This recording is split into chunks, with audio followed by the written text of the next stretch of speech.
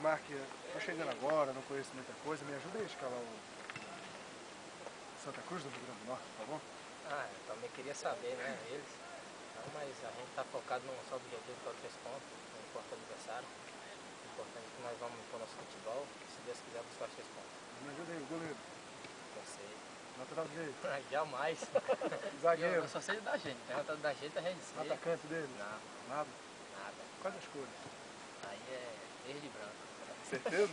Certeza eu não tenho, mas pelo jogo que eu vi aqui, eu pega aí. Bismarck, no treino desta tarde você já entrou no, como titular no lugar do Renatinho. Se o professor precisar, está pronto para aguentar 90 minutos no ritmo que foi o treino desta tarde? Não, a gente trabalha assim na vida pra isso, né?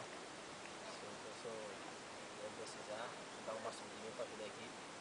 Se Deus quiser, buscar os três pontos. Esse jogo em João Pessoa foi bom para o Santa Cruz, apesar de que a condição do gramado não é tão boa assim. Mas Santa Cruz está pronto para enfrentar essa barreira?